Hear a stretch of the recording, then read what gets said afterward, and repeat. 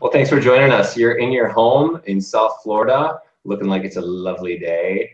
Um, uh, there's uh, folks from all across the world who are joining us. I was looking at the comments just a moment ago. Dora Lease, she said in the G Plus event comment section that she's looking forward to the webinar. She's trying to come away with this with the skills to organize her emotional thought life like that of her color-coded closet. Ooh, I like that. Good analogy there. Mark and Laura Tong are back for another webinar all the way from France. Hey, Mark and Laura. We have Leah in the Fraser Valley of British Columbia and all kinds of folks from all over the place. Uh, well, I feel like I need to introduce myself at least for the folks who aren't uh, aware of me or don't know my deal. I'm Joel Zaslofsky, and uh, I'm just so stoked to be hosting this uh, Simple Rev webinar with Marc and Angel.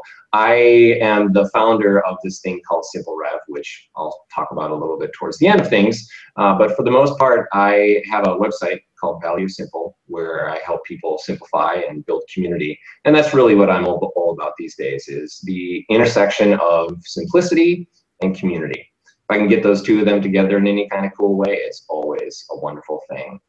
Marc and Angel, I know most people already know you and they're here for you, but I'll give you an opportunity. Would you like to uh, give yourselves a little intro as well?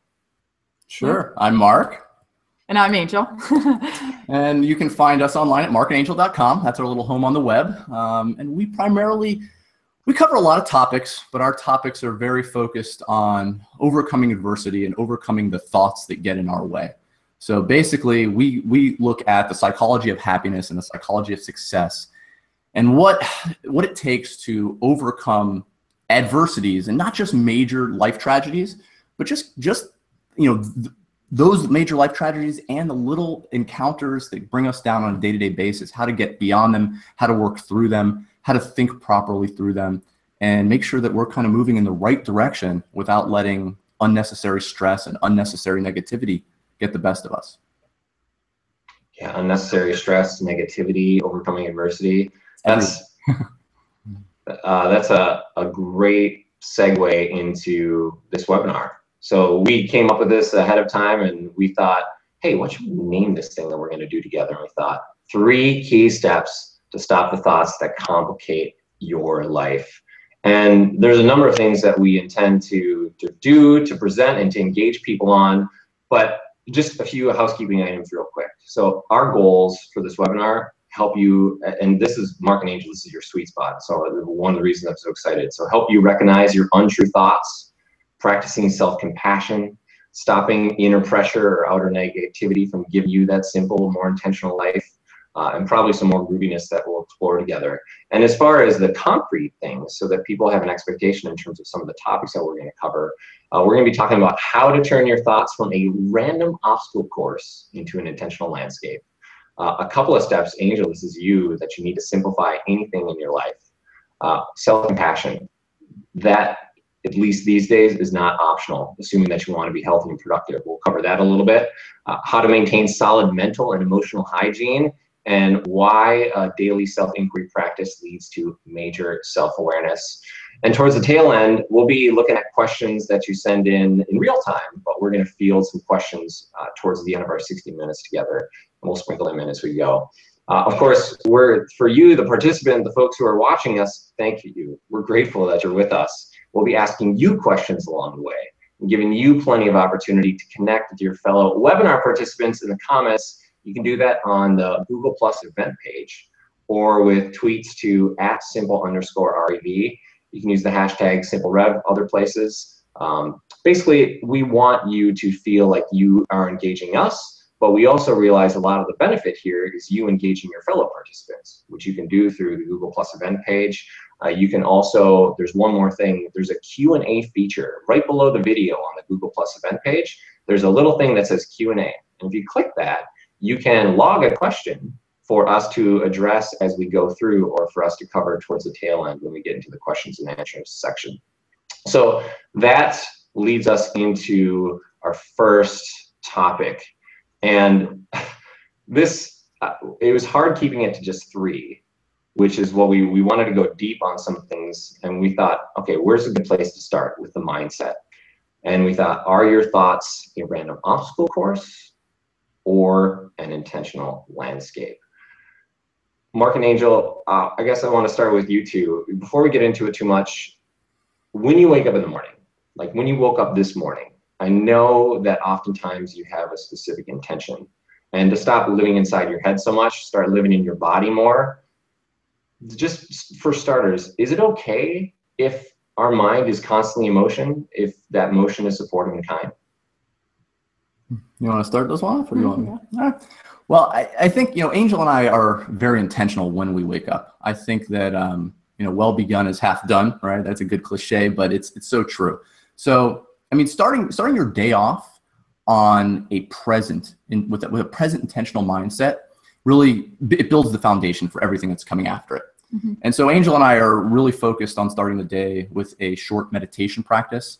Um, she does a little bit more traditional meditation. I focus a little bit more on gratitude meditation. Um, but the goal really is to not really eliminate thoughts, but to bring the right thoughts to the forefront. And those, those, those thoughts really should be on what do I want to accomplish today? What am I trying to pay attention to now? Right? There's all these goals that, you know, out there in the future, and certainly they're necessary and we need to be striving for them. There's things that have happened in the past that alter what we know and how we feel, but that doesn't need to be the primary focal point. The key is to kind of eliminate some of that noise so that we can be more focused and more intentional about what we're doing today, what we're doing right now. Eliminating noise, I guess that's subjective in some ways. One person's noise is another person's signal. But identifying what's important, I guess that's the important part of everything because thoughts are shaping our reality. Angel, maybe you can just chime in real quick on this one. So this being in tune, self-aware, having this practice, whether it's through meditation or otherwise, of self-inquiry, can you tell how do you practice this self-inquiry where you're constantly assessing and looking inside of yourself, trying to figure out what's important to me right now for my life yeah, um, I, I think we can we can all notice that our thoughts can snowball and take over our life. One one small thought can just consume us. Um, so one way that we like to manage our thoughts is we have these questions that we ask ourselves in terms of self-inquiry. Um, the first one is, is it true? So as I'm having thoughts and you know I'm dwelling on this one, I, I ask myself, well, is this thought true? Right. And can it be proven too? Like we, we love to do that. Is it true and is it proven? Like can it is it something that can be proven? Um, so I mean, what's an example? Like something that, that often kind of pops into your head. Um, for, I mean, it depends at, at any moment. Um, like like I know one that we, we all constantly struggle with, right? Is is like I'm not good enough, right? That, that like fear of failure, that fear of you know, it doesn't have to be catastrophic failure, but it's just like, I'm not good enough yet. I don't know enough yet to get from point A to point B mm-hmm. to get where I want to go. And that, it's like that constant, like, I'm, I'm not going to make it. I'm not going to make it. So you stop and you say, like Angel said, it, is it, is it true? true? Can it be proven that I'm not going to make it right now? Well, what's the reality of it? How far have I come? Right? The reality is I've, I've come, I'm not where I used to be. So obviously I'm making some kind of progress. Changes are happening. Mm-hmm you know and that that, that can help disarm. It that question is not a, a right or wrong. Is it true? It's not it's not doesn't have to be a yes or a no. It's just about opening broadening your perspective. Mm-hmm. you know mm-hmm. can this really be proven this thought that's stopping me in my tracks? And most of the time when you say is it true? we're going to think yes heck yeah it's true. But then when you're like can it be proven? when you ask yourself can it be proven? Can i be 100% that it's true? then it starts making you think hmm you know is it true that i'm not good enough yeah. So, I mean, I think to preface this too, it would be, good to say that one of the practices we highly, highly recommend as it relates to self inquiry, which is basically just asking yourself a series of questions mm-hmm. that allow you to evaluate your own thoughts. Because if, if you were to go see a psychologist, uh, a counselor on a regular basis, let's say it's biweekly, I mean, generally what they're going to do is they're going to sit you down and they're going to ask you a series of very focused questions. They're going to record your responses on these, these questions. And then the next week, when you go back, they're going to reiterate some of the things that you said. They're going to twist those questions around slightly. And the idea is just to broaden your perspective, to, to kind of open up your mind to what's really going on mm-hmm. in your head. Mm-hmm. Okay. So the way you can do this for yourself is self inquiry. asking yourself questions and judging yourself based on not really judging that's the wrong word evaluating what's going on in your head and there's two parts to this. Mhm. so even before you ask the questions one of the keys that we found is to actually record your thoughts. So you have when you are feeling anxiety when you are feeling negativity knocking at the back of your head when there's that self-defeating thought i'm not going to make it. I'm not good enough creeping up on you if you can take 60 seconds and literally just do a brain dump literally a paragraph of raw thought down on paper or in an iPad or an iPhone. Just get it out of your head and write it down. This is exactly what I'm feeling right now. I'm not, I don't feel like I'm going to be good enough for these people. I'm, I'm going to fail. I'm stumbling. I, whatever it is that's in your head, get it down. And the reason we say write it down is because we are great, as human beings, we're great at talking ourselves out of the way we felt later on. So Angel might feel this way. And then you know, you go back a day, day or two later about and, and think about the way you thought when that anxiety was going, when your emotions were really raging. and and I'll tell myself, oh, it wasn't that big of a deal, you know, it was just this thought, but I'm in a better place now. It wasn't that big of a deal. it was no big deal. Yeah. It was no big deal, which is not necessarily true because in that moment, it was a huge deal with how you were re- responding to a situation, how effective you were. And how, how you were able to communicate your points, how you were able to actually get a job done. So it was extremely important in that short time frame. So that's why when you're in that time frame, you record it. So you got that raw data down. Now, when you're, you know, at that that evening, two days later, a week later, it really doesn't matter. The idea is to collect your thoughts when you're when you're feeling emotional, and then when you have some time and you're feeling collected, go back, open up that journal or that iPad or wherever you stored those thoughts, and then apply the self inquiry to them. Read the thought. Okay, you know, I I, I I'm not good enough because X, Y, Z, blah, blah, you know, and there it is. And, and you're reading that thought and you're thinking, gosh, that's how I really felt in that moment. And, and certainly some emotions are going to start stirring in your Mhm. head when you do that. And then you ask yourself, And then from there is that's when you ask yourself these questions. So the first one being, is it true? Can it be proven? Is it 100% true? And then when you start analyzing that question and you know, and again, like Marc said, it's not a right or wrong answer. It's to open your perspective. It's to open your mind. So after you answer that question, the second question is, Is- who am I when I have that thought going through my mind? Mm-hmm. right? How does that thought make me behave? How do I treat myself? How do I treat others? How do I treat the situation? How do I treat any situation for that matter? When I have that thought going through my head, I'm not good enough. Well, if I'm not good enough for anything, right? I mean, how can I possibly accomplish what I need to accomplish? How can I feel in a state of mind that's actually capable of taking a step forward? So, I mean, so who am I with that thought in my head? and that i mean that opens the door to, to i mean suddenly you're sitting there my gosh you know who i am with the thought that i'm not good enough is a human being who actually isn't the best they can be because they're telling themselves that for if for no other reason it's just that that you're simply telling yourself you're not good enough Mhm. and and the third question is The third question is who would I be or what would I see without this thought? So if you were to erase the thought altogether, for example, I'm not good enough, who would you see then? I would see someone that's trying hard, that's doing my best. But that someone who's made progress Mhm. This question is very powerful. Who would you be without that thought? So if you really start asking yourself this question, who would I be without this thought? And then whichever thought is constantly going through your mind or whatever thought you're going over in your journal at this particular moment, it can really be a game changer. Yeah. I mean, and that's the thing is it really opens your mind to, once again, there's no right or wrong here, but who would I be without this thought? You know, like Angel said, what else would I see? You know, if, if, for instance, you know, so if somebody was really bothering you, if, if there was somebody that was really just spewing um, what you believe to, to be negative emotions towards you, and you, you, got a bad feeling once, then you got a bad feeling twice, and now every time you see them, they bother you right? Even though maybe they've changed. A year's time could have passed, two years' time could have passed, and you still have this idea in your head that this person is negative, this person's not right for me. That's if, if you enter in to, to any communication with them with a thought in your head that that's who that person is, then naturally you're going to treat them a certain way. The entire conversation is going to go right downhill. And we're all guilty of this. Of course. I, I know. I, Oh, yeah. you know. Angel and I, well, that's that's something important to say. Angel Yes. and I practice this on a regular basis ourselves, just like our gratitude meditation, just like everything we recommend. These are practices that we are constantly engaged in because we're all human, right? I mean, none of us are are above this. This is something that nat- we naturally are struggling with always, all of us. And just to give you a personal example, I have a younger sister, and I used to think she was the most selfish person in the entire world. It was always her way or the highway.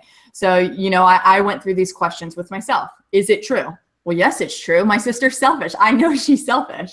Um, so, and that, that really didn't budge me at all.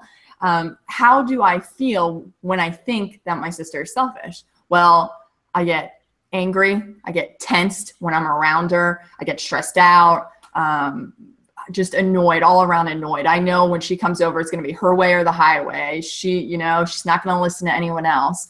And then the next question was so who would I be if I didn't think my sister was selfish? Who would I see if I didn't think my sister was selfish? So if I took away that thought that my sister was selfish, all of a sudden I saw a beautiful girl who has great ideas, who's caring, who's compassionate. And I was letting that one thought take over everything that I saw of my sister.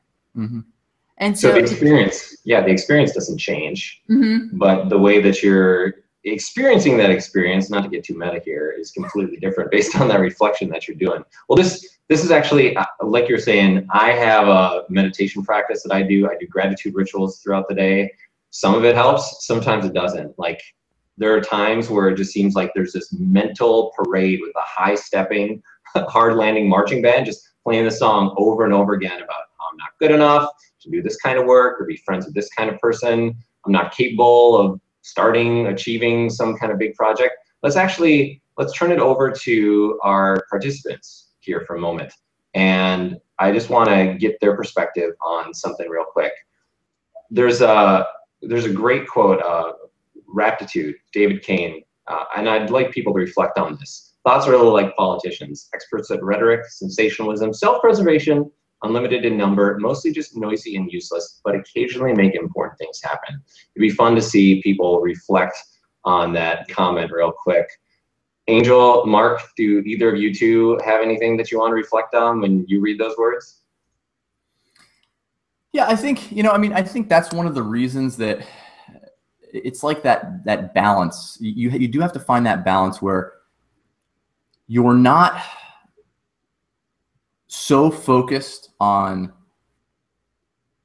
what's going on around you that you forget about what you're actually doing being present with what what your hands can work on what your mind can work on in the moment. But at the same time you know not ha- leaving leaving space leaving some structured space for creativity for brainstorming for you know because I, I think that's one of the things that if you're just focused you know right in front of you you're not leaving yourself the space to necessarily be creative with uh, big ideas. So there's got to be it's really about separating the the contemplation of big ideas and goals but then not keeping those big ideas and goals as the focal point on the day-to-day basis when you're actually pursuing and, and going through the journey going through the steps. Because if you are constantly thinking about the big goal you have to achieve then you are not going to be present on the steps you're taking today. And in, in a backwards way that's going to make you feel not good enough right? Because obviously you haven't achieved the goal and if the goal is all that's on your mind then oh my gosh i'm not good enough today because i haven't achieved that goal. So it's be it's realizing that there's two separate you know two totally separate entities here. There's the things we want to achieve the goals we're, we're striving for the the, the the meanings that we're, we're, we're moving towards and then there's the daily rituals that we carry out that get us there.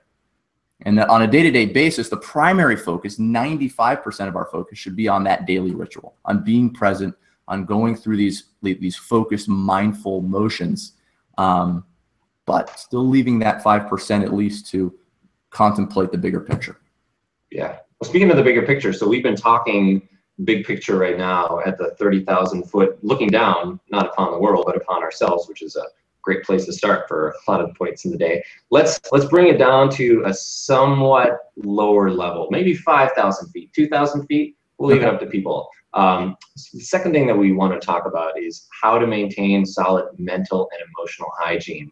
And I know you two know me. For other people, if if they know me as well, it probably doesn't surprise you. And I put this in the worksheet that we gave to people before the webinar started. Uh, there's a guy, Guy Winch, and he talks about if you get cut on your arm, you wouldn't decide, hey, I know, I'm going to take a knife and I'm going to see how much deeper I can make this cut. That would be a ridiculous idea to physically make this cut on your arm larger. Yet that's exactly what I and billions of other people do every day with mental and emotional injuries that they have. And sometimes I think, and you've probably thought about it too, in terms of brain hygiene, how we do that. So if you register for this webinar via email and you have your worksheet handy, it would be great to know what you commented on um, in the Google Plus comments or on Twitter. But um, for for the two of you, it's it's just, I guess, what kind of systems or habits have you two built to promote proper mental and emotional hygiene? Let's start there. Sure. Well, I mean, we, we mentioned my gratitude meditation mm-hmm. already. So Angel usually does a little bit more traditional meditation. I'll let you talk on that in a second. Um, but gratitude meditation. So the the the idea of literally meditating, thinking about, focusing your thoughts on what you're grateful for once a day has scientifically been proven by many psychologists that simply reviewing what you have to be grateful for absolutely improves your happiness. So, I mean, there there has been studies where there's you know two focus groups. One group is just a control group, and the other group once a day are focus are, are are required to basically list three things that they were grateful for that happened today. Doesn't have to be big things, just really small wins. And after you know a month, six months down the road, they were measurably happier than the control group. So, I mean, I, I had read books years ago about this, and I just started implementing this in my life. Angel does it with me. Um, I, I, do it a lot on my own. Um, it's just something I, I do every day, and it's made a world of difference. It really makes it opens my eyes to the little wins that are so easily forgotten, that are so often overlooked, and that makes me feel great going into the day. It really does. And like you mentioned, emotional and mental hygiene is extremely important because if we're stressed out on the inside, we're gonna be we're gonna spew that out to everyone else. So it's very important. Um, one thing like one thing I like to do is I like to get up early. So I set my alarm for 5 a.m. and I like to get up early before my 13 month old son and before Marc and just have that quietness and be able to wake up, grab some coffee, and sit down and just meditate and just listen to my breath. And so for me, that is very important um, because I notice on the days that I don't do that, and then you get up and it's like, I, as I'm sure a lot of our listeners can experience, when you get up in the morning and it's just go, go, go, go, go, that emotional and mental hygiene is not, is not, is not good. It, it's just chaos and it, it's just not structured. And so for me, really having that time to myself in the morning to breathe, to meditate, to have a slow, calm start is beneficial for me. Yeah. I mean, I think you and I actually noticed a while back, um, this is going back several years, but one of the things that got us very interested in being having a mindfulness based morning, having a morning that was structured around meditation was that we noticed we were actually waking up and reaching for our smartphones before we even kissed each other. Okay. And this was before we had a son. But we were literally waking up and checking emails and social media eh, before we actually had a conversation, before we even looked at each other and acknowledged each other. And we sat down and we're like, you know, I mean, that what is that doing for the rest of our day? We're starting the day, like Angel said, helter skelter, and our minds are not focused on anything specific. Like, and it, it's just that that carried through the entire day. The rest of the day kind of carry that helter skelter, you know, mentality because that's what we were starting with. We were laying the foundation improperly. So yeah, I mean, the meditation practice waking up early. You know, not everyone's an you know an early riser. Um, I don't think that you have to absolutely practice this first thing in the morning. It's been very beneficial for us, but for the for you know the night owls, take some time mm-hmm. at night to do the same thing. You can do a gratitude meditation at night. You can focus on yourself. You can think about your next day the mm-hmm. night before and really get yourself start like get yourself set up the night before so that when you wake up even if things you know even if the kids are running running around the house and you know the fire alarms are going off you've already thought about what's important for the mm-hmm. next day so you can you can circumvent some of that just by going back to your list okay mm-hmm. this is this was my plan for the Well, day. and even just having a calm evening, if that means watching no TV for the last hour before you go to bed and doing something you enjoy, reading and listening to your breath. So, but yeah, but you can do it in the morning or in the evening. It's just having that time to yourself. Yeah, and I think you know this kind of reminds me of this this little story, this analogy that you, that, that Uh, angels the work. orange story. Yeah, did you want to tell that? You want me to tell it? Sure. So, well, I can tell it. So, if I had an orange right here with me and I squeezed it, what would come out of it, Joel? Oh, pulp, orange juice. I feel like this is maybe a trick question. You're in Okay. Florida Or- too, or- so you okay. have tons of oranges. Or- Can you just show us? Can you grab an orange and can you do it? Let me go get a juicer real quick. No, but you're right. Or, or obviously, orange, Orange juice would come out. so Okay. why wouldn't apple juice come out? Right, apples to oranges. Well, well a- a- so apple apple juice wouldn't come out because obviously you're squeezing an orange, right? So Correct. So what's inside is an orange. So when you squeeze it, orange juice would come out. hmm so now imagine instead of thinking about the orange, that you're thinking about yourself. So if people squeeze me, if people put pressure on me, what comes out?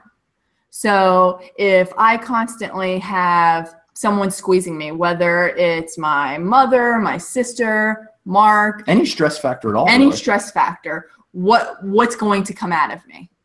and that and that that that right there, that question, what is going to come out of you, is is the entire principle. It's the entire point behind why we must be mindful, why Well- we must be more present.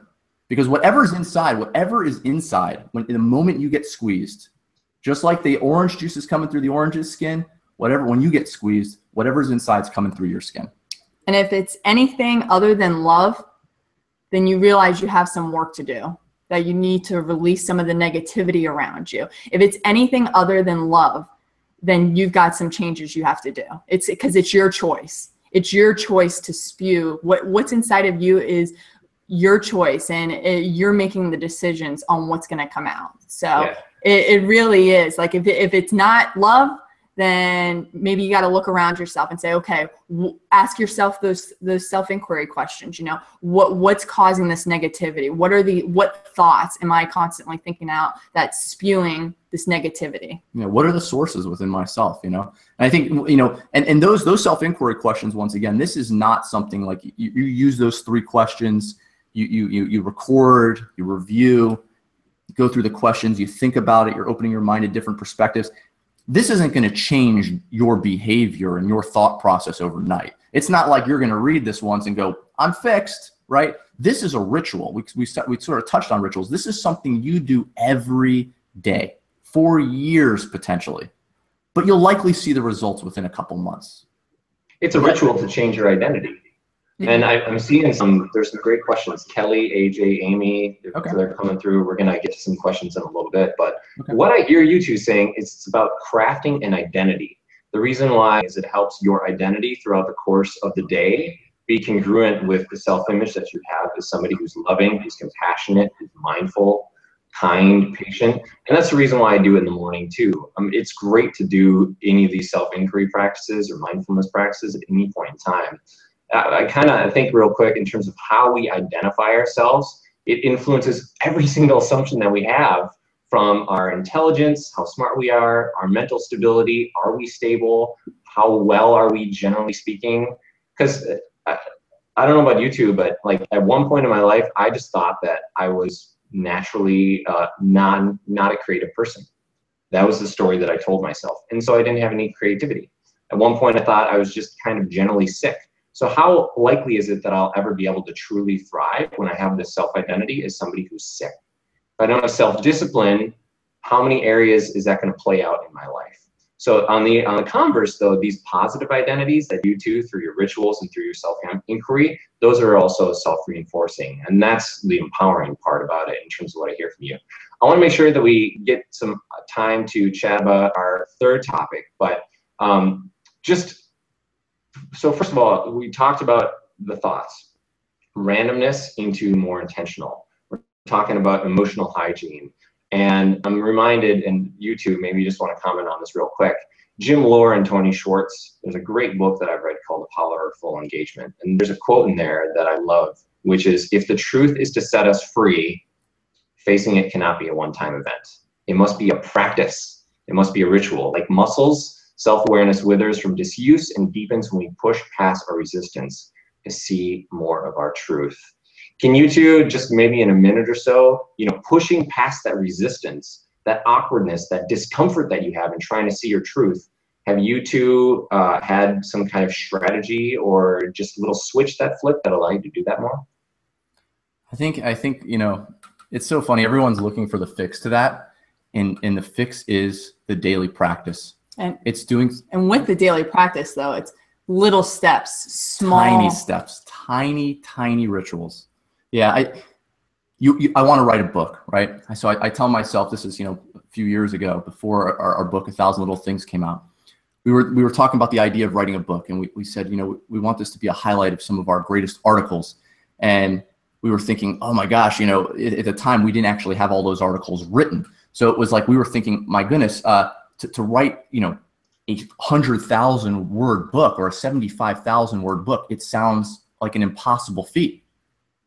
But the interesting thing is, is Angel and I have been writing two articles that are all between, I'd say, between a thousand words and two thousand words, Mhm. twice a week, for years, for a decade.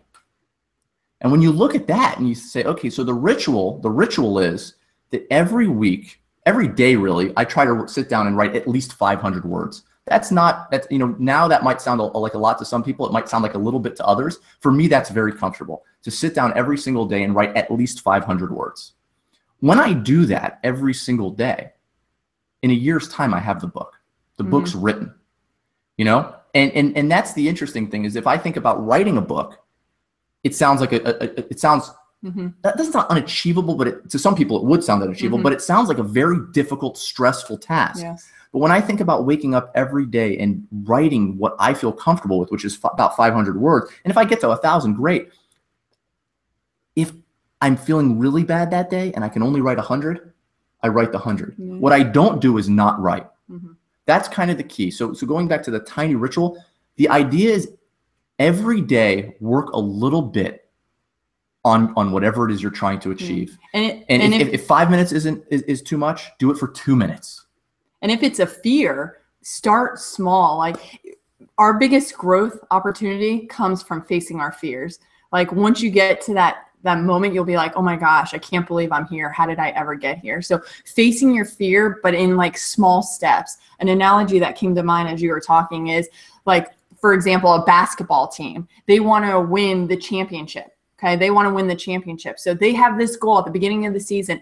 I'm going to get to the finals. I'm going to win the championship but you can't that can't be the goal that that can be the goal but where does that get you if you think about it every every day well it's not going to get you there what's going to get you there is the ritual the ritual of The training. The, i'm going to players. practice i'm going to practice monday through friday i'm going to practice today and then i'm going to practice again tomorrow and i'm going to practice my free throw and if you took away the goal completely of i want to get the championship but you did the ritual you'd be pretty pretty close to hitting that goal without even thinking about it just by implementing that daily ritual Yeah, you Yeah. would. Well, you're giving people some cool mental imagery. I think we started with the orange, and now you're on this bigger orange basketball. I think anytime somebody sees a we, round, we like analogies We, we like spherical objects, apparently. apparently so. We want people to squeeze it. I'm, I'm just looking here. Speaking of squeezing, Marion in the comments on the Google Plus event page, she said, "Just got squeezed. What came out of me? Love flowed." That's really cool. Hopefully, we can all be there or get there. yeah Uh, let's talk a little bit about simplifying and how your thoughts and habits can simplify your life. Angel, if we could start with you this time, there's a great blog post that you wrote on your website a while back about, and you said there's only two steps to simplifying. And this ties into what we were talking about uh, at the top of our webinar. So these two steps to simplifying, identify what's most important to you and eliminate everything else. So if we go with that approach for a moment, identifying what's most important to you and eliminating everything else, what are the types of thoughts or the specific thoughts that are most important to you? Uh, that's a good question um, i think that changes daily depending on what your goals are and what your idea of the day is. So, like for example, for me, the thoughts. Well, first of all, the thoughts are you want to keep them as positive as possible. Um, but especially like today, my thoughts today was I'm excited about doing this webinar. I'm excited about getting on here, talking to Joel, having this conversation, having our readers and audience there. And so I kind of let everything else go. I kind of said, okay, I'm not worrying about, you know, other things we've got going on today. I, I'm excited about this SimpleREV little conversation we have here. And then I'm going to go from there. So I really think one thing that Marc and I like to talk a lot about is a lot of what's stressing us out is thinking about the past or thinking about the future. Hmm. So it's really about being present and what does this day have in store for me and being excited about that and taking it day by day. Yeah, I think anybody can fight the battles of just one day, right? Doesn't matter whether we've got a lot of chaotic, you know, obligations today or whether um, there's something stressful happen. It's like we can always fight the battles of today. And I agree with Angel entirely. It's as soon as you add the infinite battles of yesterday and tomorrow that things get overly complicated. Um, and I, I, love what you're saying too. I mean, the idea of focus on what's more, most important, eliminate everything else. You know, it, it's about, it's not so much about focusing on specific thoughts when you wake up as it is about removing the thoughts that don't need to be there yeah. by being present with what you're actually doing that day. Waking up every morning and deciding, you know, if I could wipe everything off my plate, what would I put back on mm-hmm. my plate? And I think that Marc makes a great point. So I think it's hard to pinpoint like what's one specific thought that I'm going to focus on today, but rather what's going, what thoughts are going through my mind right now that I just need to to get out, get out of my mind. Like they're not making any progress. They're not helping me at, in this moment. Let me take yeah. those thoughts and just erase them for the time being. I think because a lot of times it's not so much most people's problem. A lot of people know sort of what they want. They at least have some some idea about what they generally want, and that and that's not really what's defeating them. Is not knowing that. What's defeating them is all those other that that noise we talked about that's going on in their head. All those other thoughts which are usually associated with another mm-hmm. time and place that's weighing you down that are weighing you down right here while you're trying to get done what you what you need to get done the work that's right in front of you so it, it's really like cleaning the plate only putting back onto the plate what you need in this exact moment and going from there and then when that job when that task is complete letting it go and starting again you know eliminate everything that's not important so that you're left only with what is for each moment, moment to moment. How task is probably an easier way to say it. Task to task. yeah, moment to moment, task to task. In doing that in real time, I'm having this image, you know, like I'm inside my brain, I'm walking around and I'm seeing, ooh, lovely white space. It's just totally clear in here. I wiped it all free and now I'm just cruising around. Hey, there's something that's cool. There's patience. Oh, hey, there's gratitude. Like I'm just kind of pulling things off the shelves and I'm figuring right now at this moment I need it. But in times where, especially if you're interacting with somebody else, a lot of times when we're inside of our own head, we're telling our stories, we're alone. Can I just, you two are obviously with each other pretty much all the time. It, when it comes to you two and engaging someone else in that conversation, as you have this input that's coming at you, whether it's conversation or whether you're watching a video or a webinar, is there a way that even when you have stimulus that's just constantly flowing at you, that you can just be wiping it clear, relatively clear again and again? Is that a, is that a goal we should have? I think, yeah, I think focus. I think when you're talking to somebody, actually paying attention to them, sitting down, turning off the phone, closing the laptop, you know, turning off the screen, getting into getting getting to a quiet area where, where you can eliminate some of those distractions mm-hmm. is extremely important. I think you know that's huge nowadays where we sit down with people, we're sitting at a table eating lunch and everyone's got their, their smartphone out, right? You see it every single day. So yeah, I mean, being being mindful about those distractions and focusing on the conversation. Yeah, yeah focusing on the person. But in listening, you know, not waiting to speak, like actually taking in what the other right. person is Not saying. listening just with the intention to say something, yeah, but listening just to listen, just to take it present with that person and saying, yeah, I'm here to, to, to I'm, I'm, I'm here to hear what you have to say. And, and that's always, that's that's always a challenge for us. You know, we Oh, have a million things going on. You know, my kids in the background crying or this, and it's like really trying to be present and be in that conversation. And you know, that time is valuable and enjoying it. Yeah, I mean, and, and that that goes like when you bring up kids, you know, I mean, it's it's this plays out so well in the household too, where you know, let's say your your kid goes into the refrigerator, pulls out the gallon of milk, and drops it on the floor, right, spilling all over the floor. I mean, it, it's easy to run over there in a frantic, you know, like hasteful mind, scream at your child, pick up the milk, try to wipe it up real quick before you run off and do what you were doing to begin with and your kid's kind of left there either crying or just upset or just you know oh i guess mom handled that you know and just kind of confused and, and, you know when we're busy a lot of times that's what we do. But if you're more mindful and if you're more present and you're more focused on that communication we're talking about you can just as easily same experience same event happen just as easily go over there pick up the jug of milk put it back into the refrigerator you know wipe up the floor for a second and then sit there with your kid and say let's try that again. You know let's let me show you how to do this. Let, let's let's go over this one more time, and let your you let your child take the take the, the milk back out of the refrigerator, and I, I think that the the outcome, you know, obviously what the event is the same, but the outcome is completely different. The communication, the love, Mm. I mean, the presence, not letting something simple like get in your way. You know, it, we have enough time to do that. So often we think we don't have time. It's like, oh, I don't have time to explain that right now because I'm busy rushing over here. Well, you do have time. You you have the time. And, and half of it is is making sure that you schedule your life your life. I mean, this goes back to taking everything else out. Focus on what's the most, most important, remove the rest. Don't have so many obligations every single day that you feel like you don't have the time to spend when something small like that happens. Because that's not the truth. You're choosing to do other things and running around. You do have the time and you should make the time because that stuff's important, those small conversations. I just want to build on that real quick. Just having the time to call time out, especially when you have children. And there's some people who are commenting and Angel appreciating your perspective from a parent's view. Now, I have a five year old and a two year old. And it's important to me to give my kids the opportunity to say, hey, I handled that wrong, do mm-hmm. over. Mm-hmm. And I do that every once in a while too. Like if there's milk that's spilled and if I'm a little bit too snappy, I'm a little bit too stressed, then every once in a while to Grant and Clark, I'll say, hey, you know what, guys, I handled that wrong. Can I have a do over? Yeah. And I can do that with not just with the things that happen in my physical environment. You can also, when it comes to your thoughts, you think something, you don't want it to be there, just, hey, can I have a do over on that? Can I try to process this differently? Can I try to look at it differently?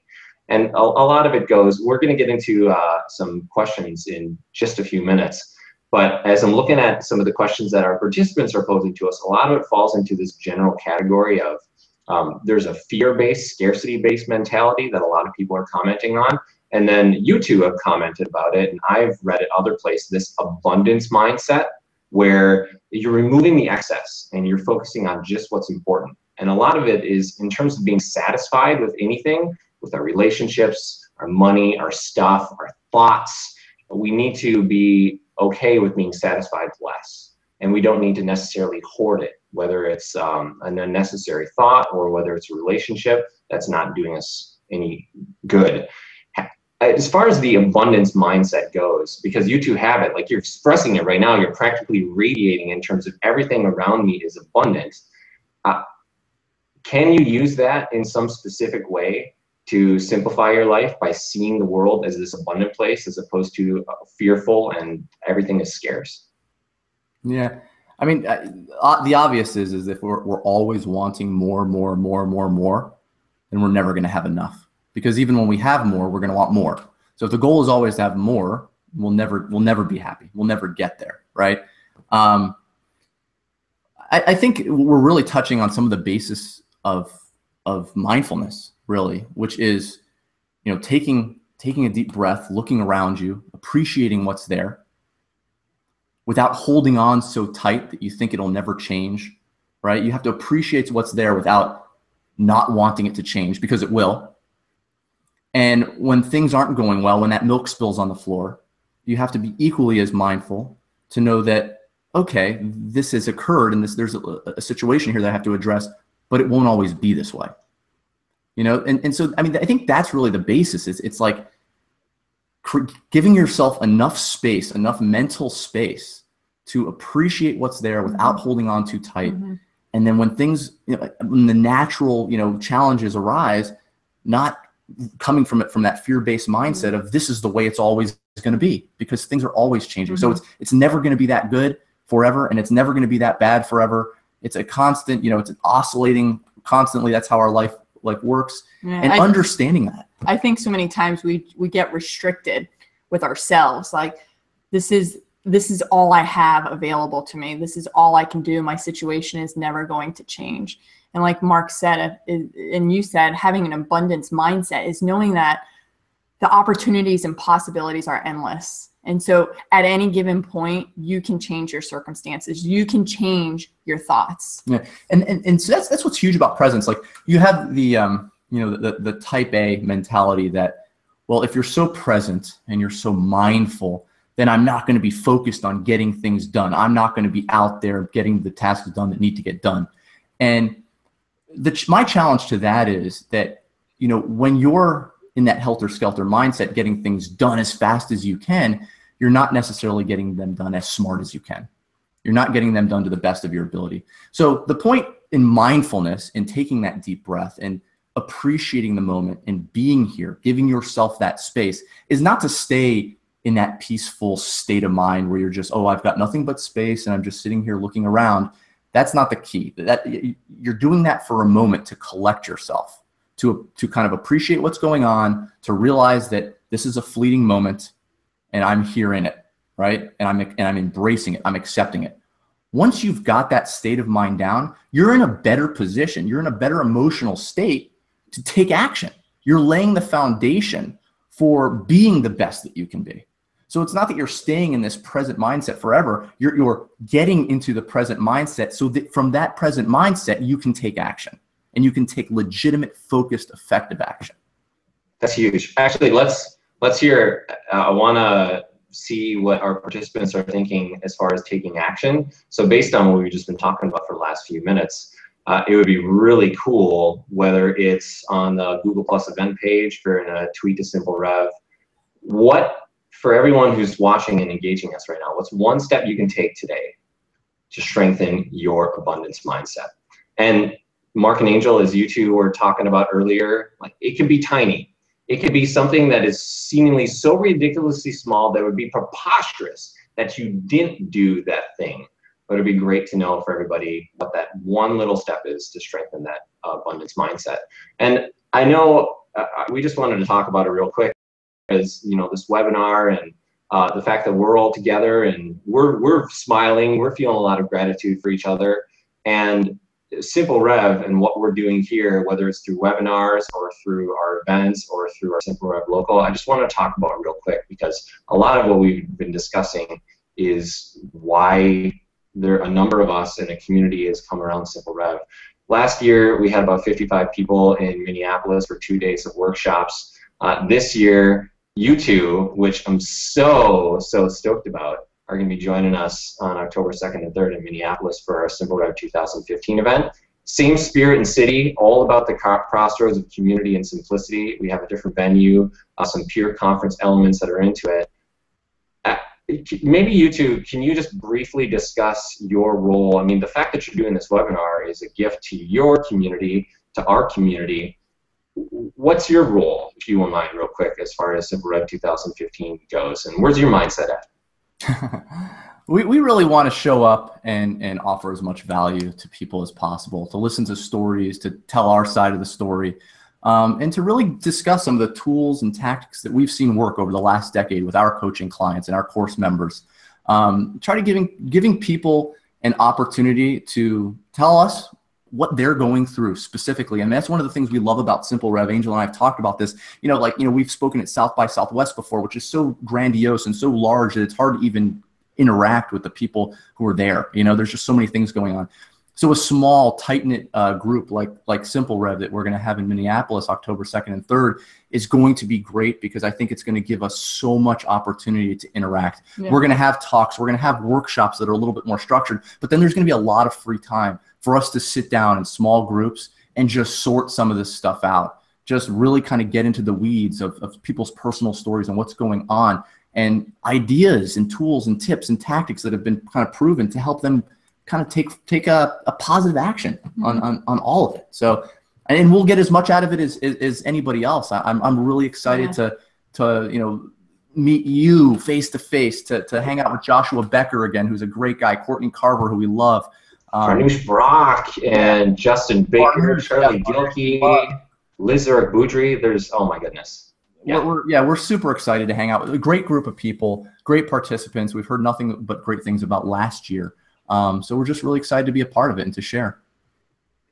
Cool. Well, we've decided to keep it intentionally very small. It's definitely not South by Southwest. I've spoken there as well. That's what caught our attention, Joel. That got caught our attention right from the beginning. I'm like, he's intentionally keeping it small. He's intentionally keeping it simple. All right, we're there. and we don't have a lot of time these days. Obviously, with, with, with a young child, as you know, it gets it gets crazy schedule wise. So that's why we, we definitely made the time to do this. Yeah. We're excited well, about it. I just wanted to mention that real quick. And also for the folks who can't or won't get to Minneapolis for our event, and the vast majority of people can't or won't, which is totally cool. Uh, we also are having uh, people host free local, what we call SimpleREV gatherings in their area. So folks want to, if they're digging this SimpleREV thing and they want to bring it to them as opposed to come to us, they can go to simplerev.com slash local and maybe even sign up to uh, host some of these free local gatherings in their area.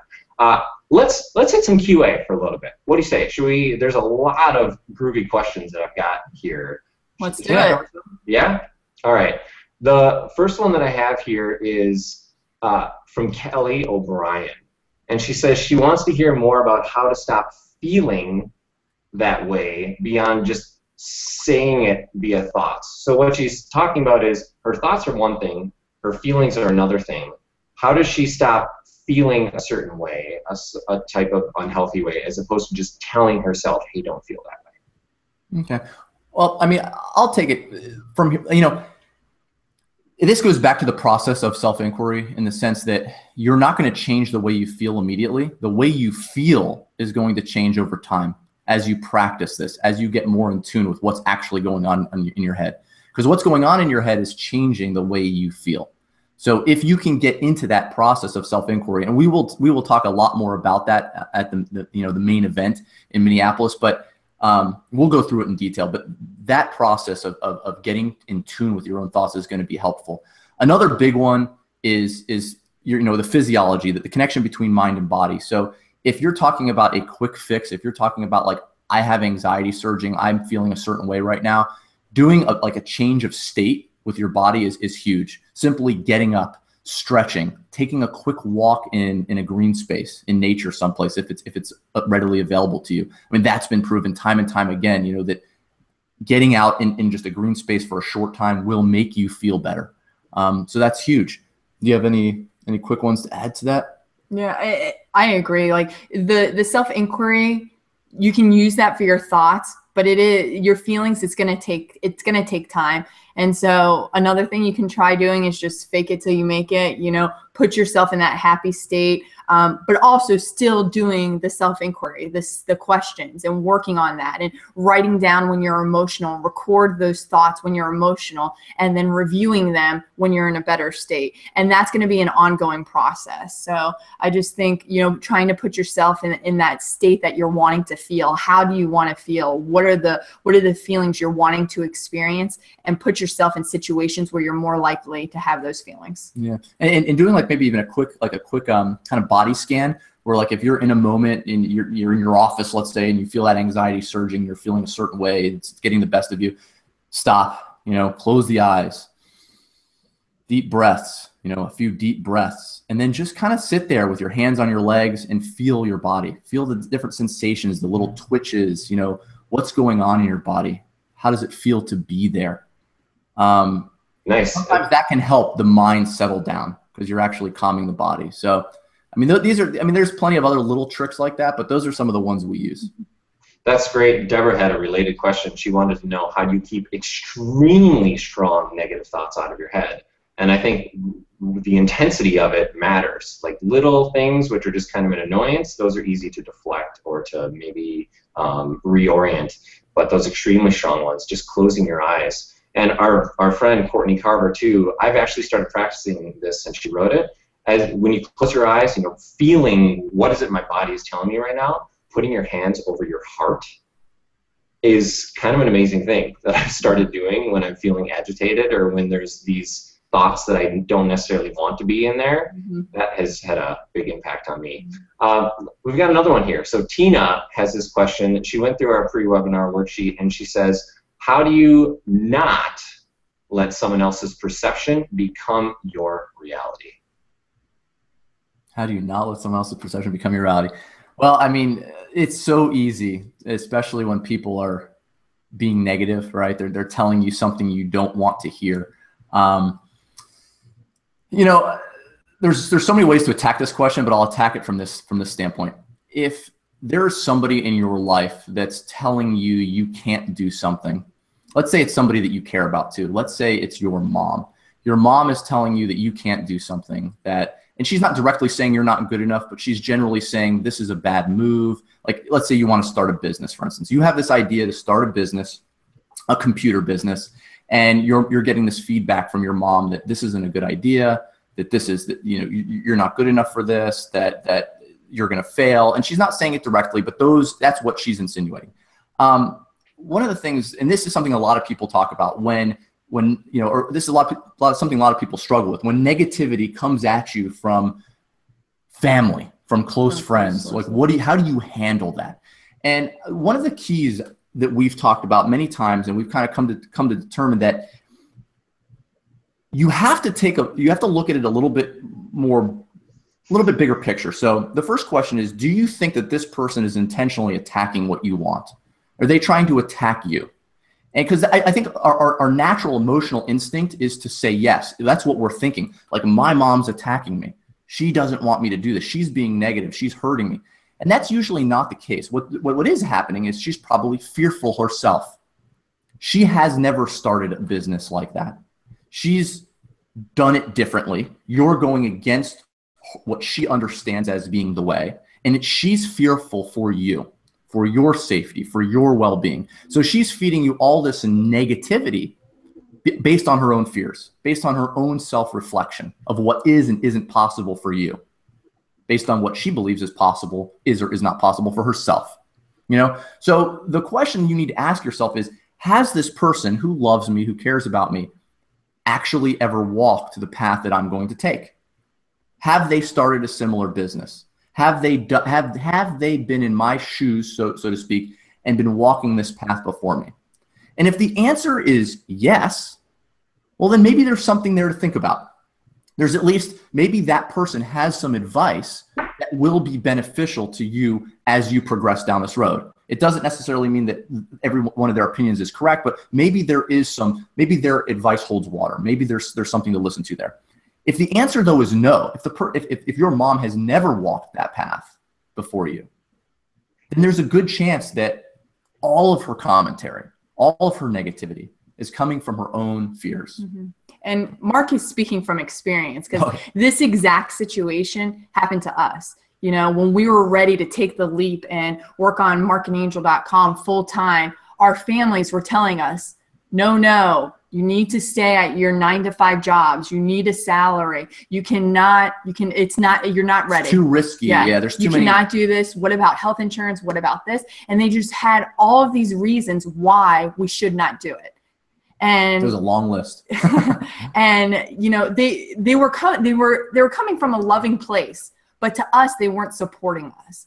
And so when we started to realize like they know nothing about not working a nine to five job or being an entrepreneur. So they're just telling us their fears. They would never be an entrepreneur. They would never quit their steady paycheck to follow to a passion, a to, to, to, take right. a risk. And so when we realize that, like they're not telling us not to do it because they want to hurt us. They want to hurt us. They're telling us they that that they wouldn't do it.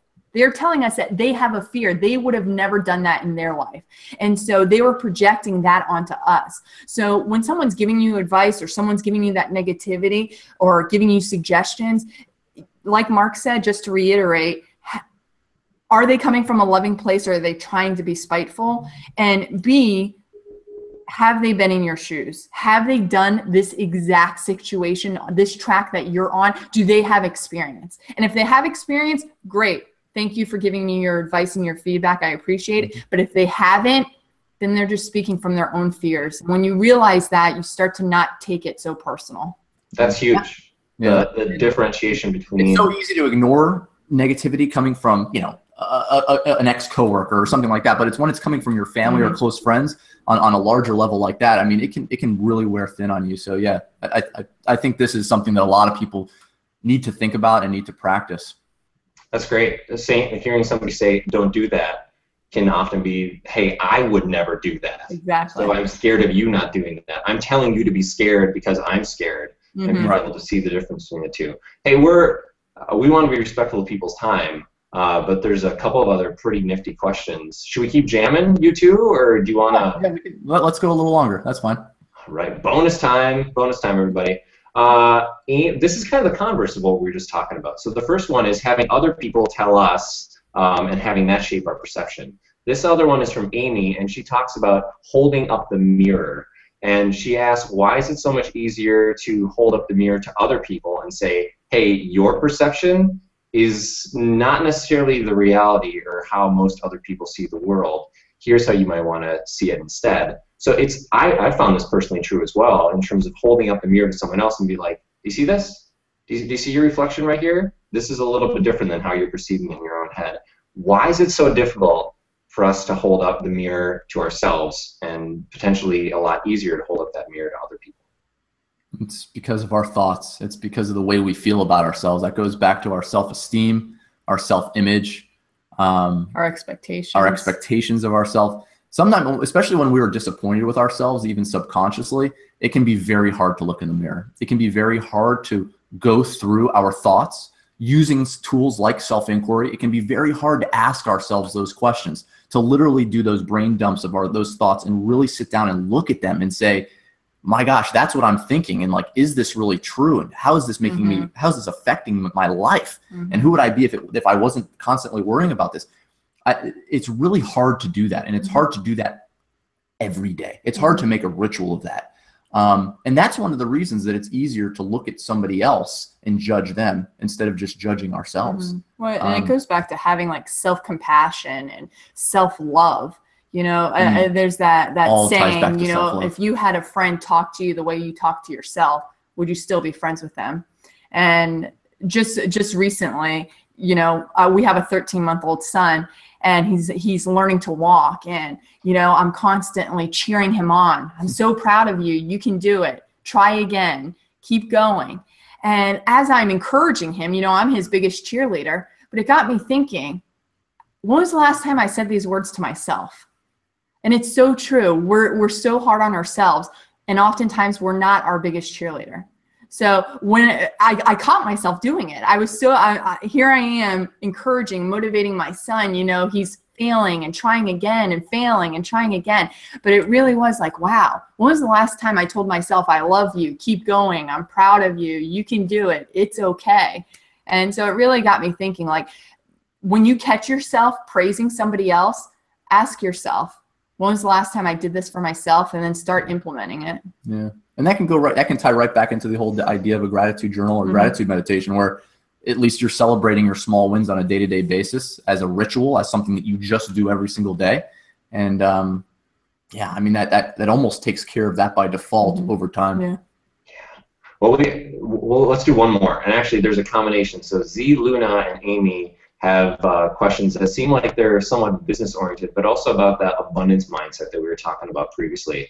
Um, when it, uh, achieving your long-term goals while staying present, some of those seem to be at odds, at least on the face. And Marc, I think you talked about that a little bit. Is getting present is so that you can take action, so that you can move on with intentionality and with purpose um, to do your actions. But Amy's question is, is pretty specific here. And she says, While I agree personally with the abundance mindset, how do I reconcile that with my business and wanting to grow that? So there's the conflict, that tension between I am enough, I am good enough, but also I want more for my business, I want more for my impact and helping other people. How do you two reconcile that seemingly competing uh, interest of being good with what you got and also wanting to impact more. Well, no, this ties right into what we sort of spoke on already, and that is I'm good enough for what I have to do today. It's not I'm good enough and I'm just going to sit here because I'm good enough. It's I'm good enough for what has to be done today. I'm going to be mindful, not so I can just sit here and smile, but so that I can get to a place where I can attack the work that needs to be done today in the most effective manner I possibly can. Being mindful, feeling good enough in the moment is the groundwork for taking focused action. So, I mean, that's the key. The key is the ritual of being present with what you are currently working on. And then when the task is completed, letting it go so you're not attached to it and moving on to the next thing that you need to do. So there is there is some shifts there. You know, it, it is about, you know, I, I've said this so many times. I think that when it comes to achieving big goals like running a business, you know, Angel and I have gone through a lot of a lot of challenges with that. Um, it is easy to get helter skelter. It is easy to to not be present and to always be thinking about the next thing that needs to be done. The two the two things you need to realize is one, that's not going to work, and two, if you have too many things on your plate, and we sort of touched on this already, but if you have too many things on your plate, you're not going to get any one of them done correctly. So if you're not being mindful with the things you do, then you're just sort of doing them, but you're not really getting them done properly. So it, it, it's about being focused, being mindful, mindful on the current task, mm-hmm. on the pres on the on the task at hand, but not staying there with it forever, right? Working on it until it's done mm-hmm. or until it's at the point that you feel it's time to move on to the next task for the day. And then never having like another big mistake with businesses, especially small businesses that we used to make that so many people make is, you know, they'll, they'll they have like literally a list that's pages long of to-do list tasks for a day. Like there's, you know, today I have like 25 things I need to do. Well, you're never going to really accomplish, especially if there's 25 bigger things, you're never going to accomplish those 25 things well. You're not going to com- accomplish them at all. Thinking that you can is only going to stress you out. So, you know, going back to eliminate, you know, focus on what's most important, eliminate everything else. That's for the day. Focus on what's most important today and eliminate what's what everything else for today. You know, so, and you should be left with maybe three to five core tasks, mm-hmm. three to five big tasks for the day. Any more than that, and you're not going to be truly effective. So, you know, certainly there's little things, right? So when I say core tasks, I don't mean tie your shoes, drop the kids off at school, pick up groceries, you know, fix, figure out what you're eating for dinner. Those are small tasks that can be batched together, right? You know, drop the kids off at school, pick up the groceries on the way back. Like you can batch those things in time slots, hopefully in certain parts of your day where it's not affecting your actual work. Um, but for big tasks like, you know, today I need to write an intro for a new book I'm writing, right? I need to get started on that. That's one task for the day, you know, and you should, like I said, no more than three to five of those because otherwise it's too much and you won't be effective. Mm. Well, I'm channeling a lot of the comments that I'm seeing here on Twitter and on uh, the Google Plus event page. There, there's some seriously new perspective that people are gaining, uh, and it's just very practical, specific tools and techniques that you two have given. Uh, just to, to recap on what I'm seeing here, so untrue thoughts, which is where we started, and self-compassion. Um, inner pressure and outer neg- negativity that's stopping you from having that simple intentional life. We covered a serious amount of ground. And i know some people are maybe frantically scratching notes or maybe they didn't get to watch this live or their internet connection cut in and out. I just want to mention to everybody that we will be emailing the link to the replay. It's going to be up on youtube. That'll be coming in the next 24 hours um, and you'll also be able to watch the replay on simplerev.com on our webinar page. That's simplerev.com slash MAA webinar. That'll also be up there in about 24 hours. Marc and Angel, I know the two of us, this won't be the end of our conversation, but for everybody else, and for the, it's super cool to see people engaging each other and to build each other up and also help each other in the comments. We want to keep that chatter going with your fellow participants, wherever it may happen to be. We're not looking to dictate it. Wherever Marc and Angel hang out online, which is seemingly everywhere, you two clearly aren't doing everything by yourselves and have systematized things to a certain extent. I'm impressed. Um, thank you for joining us. Thank you for contributing as much as you have and for giving us a little bit of bonus time. For the folks who aren't familiar with you and don't know where you generally hang out online, where can folks find more from you two? The easiest place is marcandangel.com. So M-A-R-C and angel.com. Um, we try to engage with our audience as much as possible in the comments there. Um, you know, for a deeper dive, obviously we have a course, and for those people, we get on on Skype. All of our course students get Skype phone interaction. So if you have like some serious things you want to talk about one on one, you can also find that right through our blog at marcandangel.com. Cool. Very cool. Well, thank you too again. I'm seriously grateful for the time that you've carved out for us. Um, all of our participants, thank you for leaving comments, sending tweets, interacting with each other, asking questions for the Q&A. Uh, that's a wrap for now, but this certainly is not the end of the conversation. Appreciate everybody joining us and contributing so much.